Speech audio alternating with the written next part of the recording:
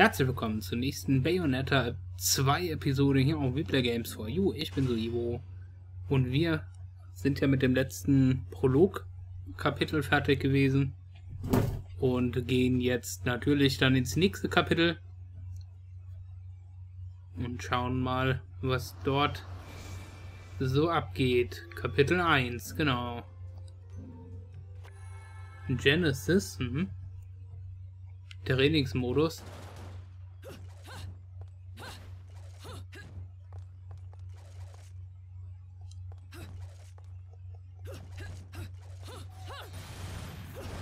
Okay.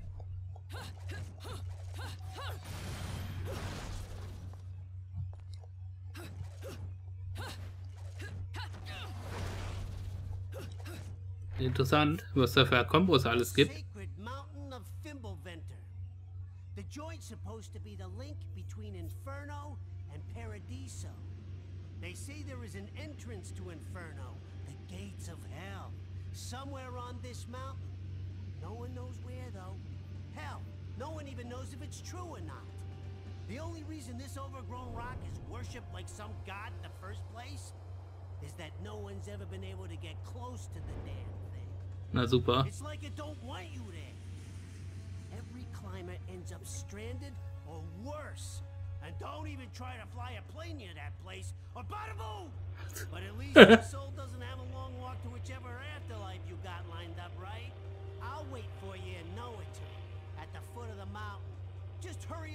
whatever it is you gotta do and get back there, alright? And the hotel's going on your account. With a minibar, too. Gotta keep myself busy while I'm waiting. Forget about it. Eh. I love those miniature drinks. Alles klar. Mal schauen, was uns da jetzt so erwarten wird. Wir versuchen dich zumindest zu retten.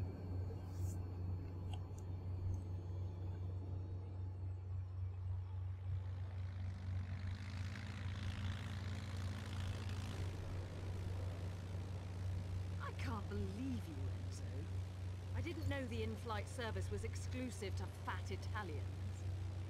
Renting the plane ain't free, you know. That reminds me, you owe Alex the kid for the charter. Oh, shit! Sieht schon schick aus, das kann ich immer, immer wieder sagen.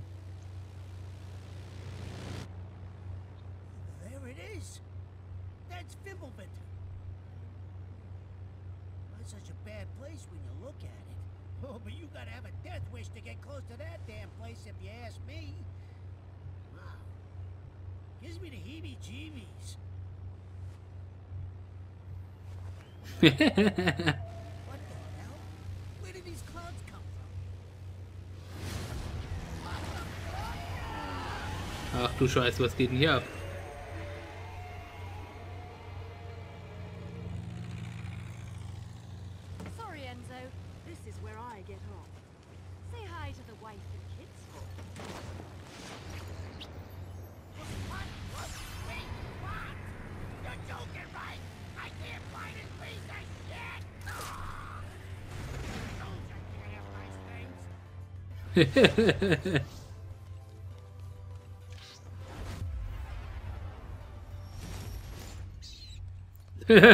Sehr gut.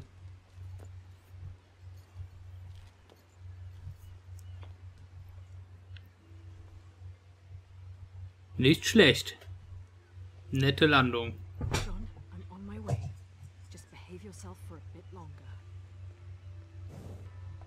Okay, wir können uns endlich mal bewegen. Ist auch wie so eine, sowas in der Art wie eine Stadt. Okay.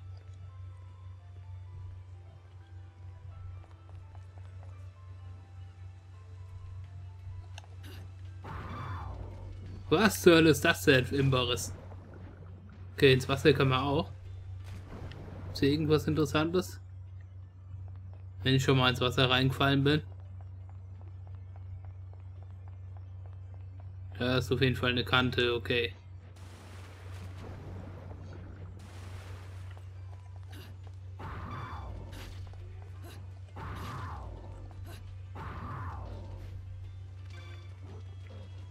ist das?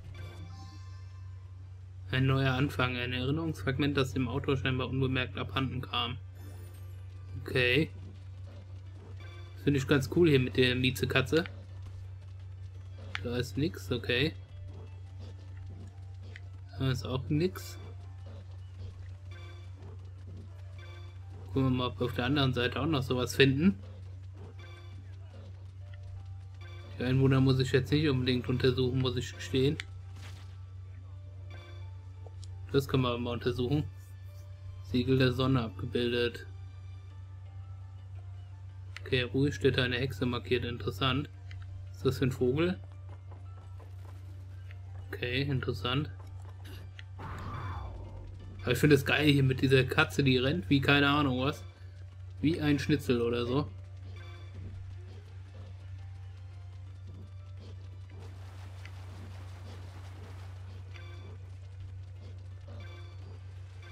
Ich will jetzt hier ungern was verpassen. Wir haben ja gesehen, dass hier auf jeden Fall auch Sachen rumliegen können. Wäre ich tatsächlich beinahe abgeschmiert eben hier. Gibt es ja gar nicht. Können wir die kaputt machen? Okay, kann man. Das geht nicht, oder? War ich noch nicht genug Damage. Okay, kann man auch kaputt machen. Das ist ja krass. Was kriegen wir da? Mandragora-Wurzel. Brauzutat. Das können wir sowas wie Alchemie wohl auch. In irgendeiner Form. Horn eines Horn des Einhorns. Auch eine Zutat. Oder oh, waren wir eben aber ganz schön nackig, muss ich sagen.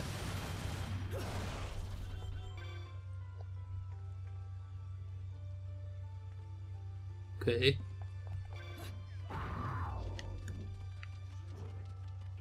Weiß nicht, ob ich jetzt hier wirklich alles kaputt machen sollte. Wir finden zumindest Brauzutaten. Im höchsten Schwierigkeitsgrad könnte es ja schon sein, dass wir die gebrauchen können. Irgendwo, denke ich mal. Noch so ein Horn.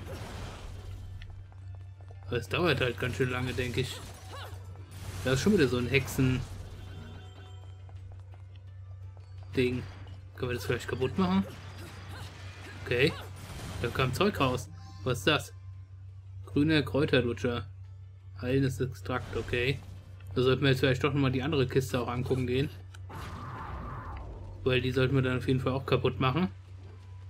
Hier können wir auch ruhig alles kaputt fetzen. Kann ja nicht schaden. Machen hier einen auf Randale. ich finde die offene Welt jetzt eigentlich ganz interessant. Das habe ich mir schlimmer vorgestellt wenn ich ehrlich bin.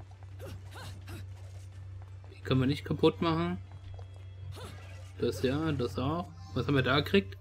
Gebackene Gecko. Okay.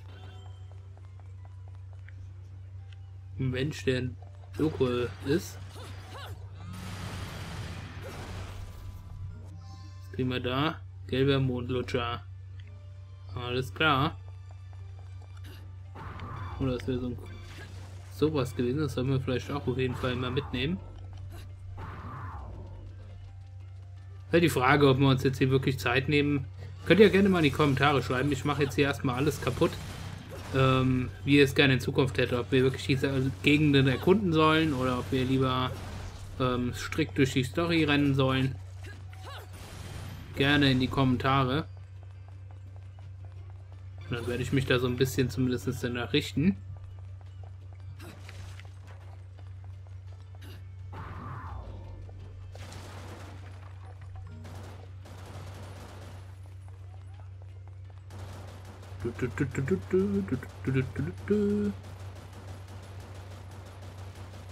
Dauert noch ein bisschen lang.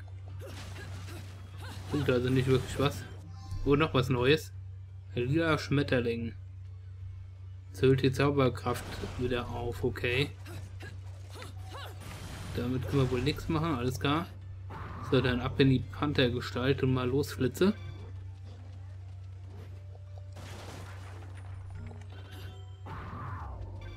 Finde ich richtig gut.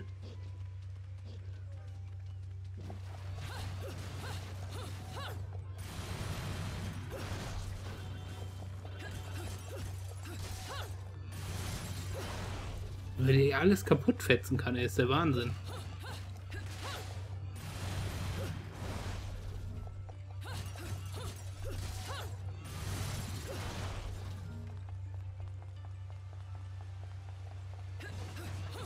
Ich habe ja eigentlich am Anfang nicht unbedingt gedacht, dass man hier in so eine Art offene oder generell in so Spielwelten kommt, als es da wirklich Videokampf, Videokampf ging. Deswegen bin ich hier doch echt positiv überrascht gerade.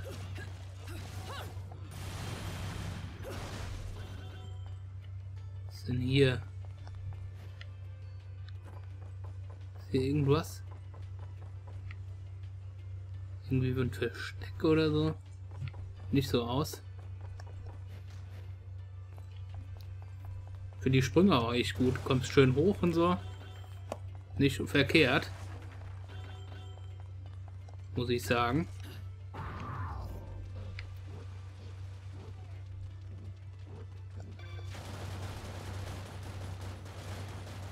Wie lange das dauert mit der Knarre. Das ja der Wahnsinn.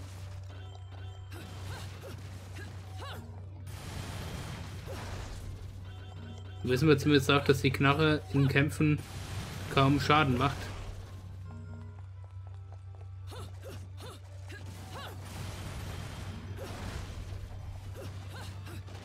Sollte meinen, dass das äh, sonst ähnlich viel Schaden machen würde. Davon ist wieder was, was der Besitzer ver verloren hat oder so. Forten muss Hilsheims, okay. Betreten. Dann gucken wir erstmal hier auf der anderen Seite noch, würde ich sagen.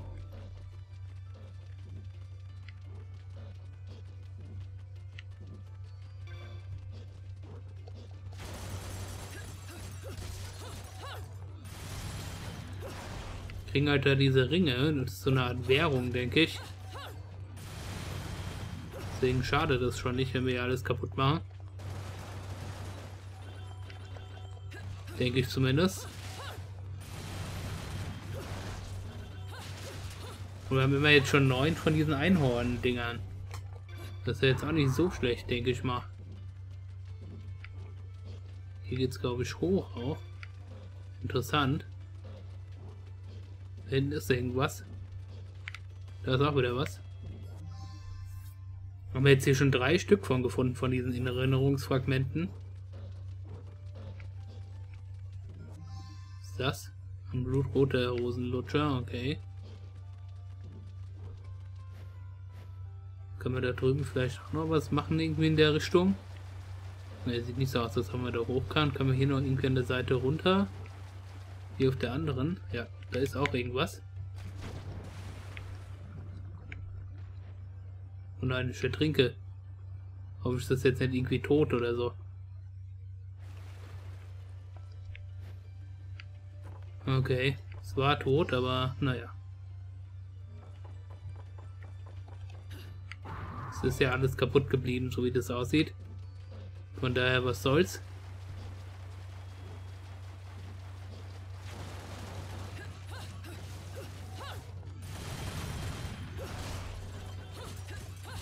So, der letzte Rest.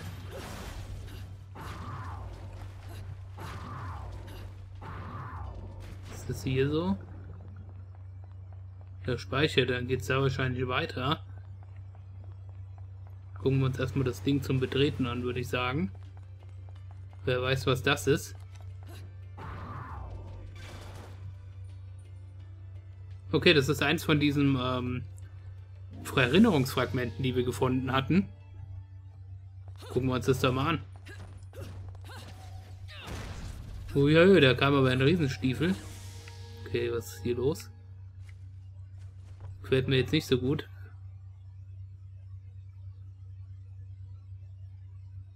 Okay. Der Verlierer wird nicht bestraft. Das klingt doch gut. Gucken wir uns das doch mal an.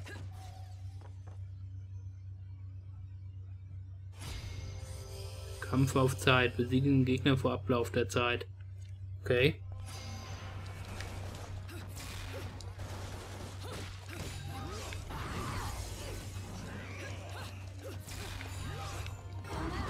Das war gut.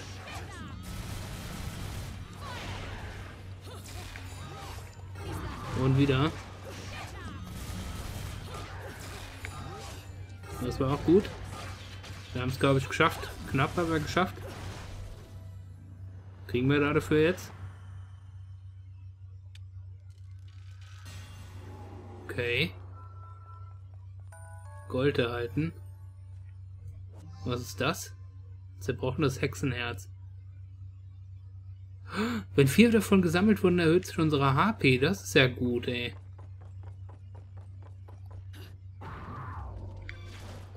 Versuchen wir es dann nochmal, wenn wir, wenn wir hier äh, keine Nachteile davon haben.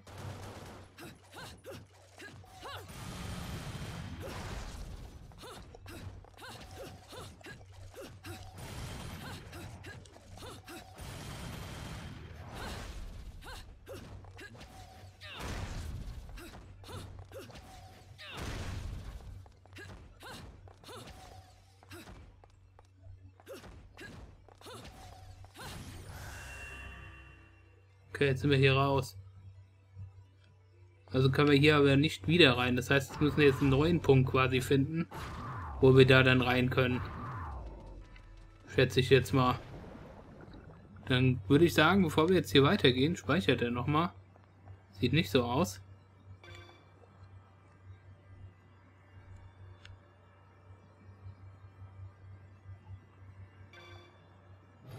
Okay.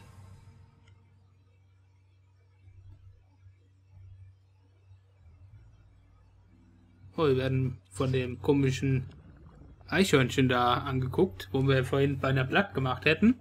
Ja, ich würde aber sagen, wenn wir jetzt hier eh gerade gespeichert haben, machen wir an der Stelle erstmal einen Cut, machen morgen weiter. Ich bedanke mich schon mal fürs Zusehen und bis zum nächsten Mal. Ciao, ciao.